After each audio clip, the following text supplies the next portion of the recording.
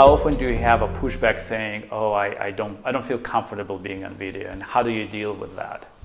Well, I think there are a lot of reasons why people don't want to see themselves on video.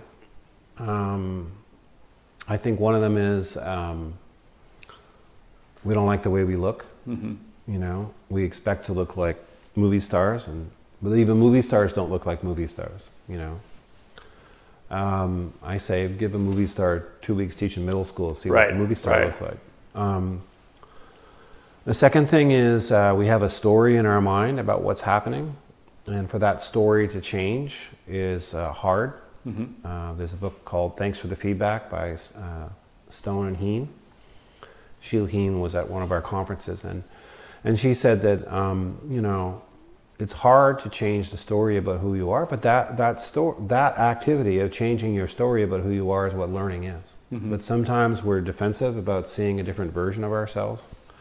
For example, our story might be we're really we're like a super inspiring teacher, Right. and then we, if we watch the video, we might be a little disappointed by what we see. And the third thing is, I think in schools there's a culture of talk more than often more than a culture of action. So people will say, well, you know, if I get one good thing out of a workshop, it's worth it, and they they invest in workshops, and but no no change really happens. People talk about change, but they don't really do it. Bob Sutton, who's sometimes in the D school, he says. The trouble is, people think talking about something is the same as actually doing something. Right, you know? right. So to me, uh, those three things, video, because when you push the red button on your device and you record the class, you shift from a culture of talk to a culture of action. Once you really see what's happening, you gotta you gotta do something about it. So um, the other big thing is trust, um, and probably that's the biggest thing. Right. When we first started to use video, all the teachers used it in our study, and and we would present the data, and people would, well, we want to do that, but how did you get them to do it? So I went back to the coaches and I said, well, how did you get people to do it? And they said, well, we just asked, and they said yes. And I said, well, that's not much help. Why did they say yes? And they said they said yes because they trusted us, and if they don't trust us, um, they're not going to use the video. But if they don't trust us, the coaching is not going to be that much effect, that effective anyway. So, so it's not that the them not wanting to use video, I think, is not about the video. It's about it's about trust, especially, or other other factors as well. And it could be they don't trust the coach or they don't trust the system. And we've written about I've written about trust. You know, it's it means that the person we, we're talking to, we believe in their character. Um, we think they're honest and fair. They're reliable. Um, they're competent at what they do. They're warm in their relationships with us, and they have our best interests at heart.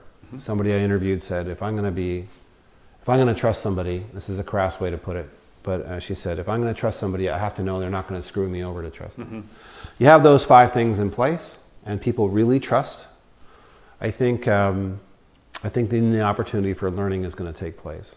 You know, in fact, what we found is that it's more varies by school. I'm curious to see if you found the same thing, but it's not person by person. It's almost school by school. You'll have a you'll have a school where there's all kinds of video being used, or there's none being used, or there's one or two outliers, but but the coaches are trying to get people to use video, and people are really hesitant. And I think that more than anything else comes down to trust.